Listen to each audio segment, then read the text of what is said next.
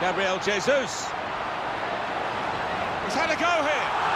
Such quality in the build-up and a brilliant finish.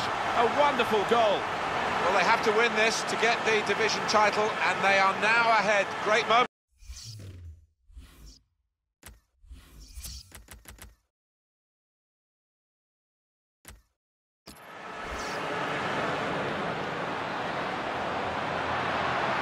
Now the shot! Such a big game, such a big prize for them, and it looks as though it's probably in the bag now. Well, there was a bit of tension beforehand, but the way they've coped with that just shows you that they are potential champions here.